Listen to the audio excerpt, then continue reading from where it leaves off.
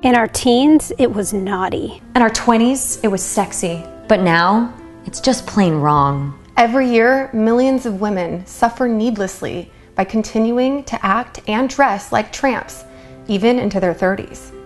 They live day to day without the most basic of items that we all take for granted, such as food, clothing, and shelter. How could anyone with a heart allow this self exploitation of these beautiful women to continue? But there is a way out for these troubled souls, looking for attention and dignity. I know, because I was one of them. So was I.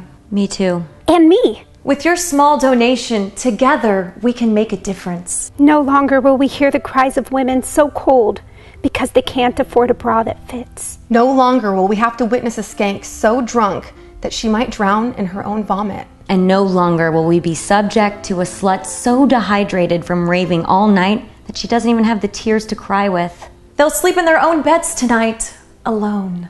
They'll enjoy a hot meal with all the basic food groups, and maybe even a superfood. And they'll dress like you and me, and not some Hollywood Hills hooker on Halloween.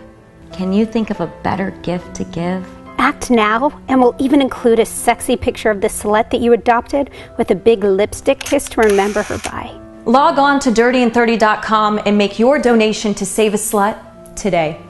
Save a Slut today!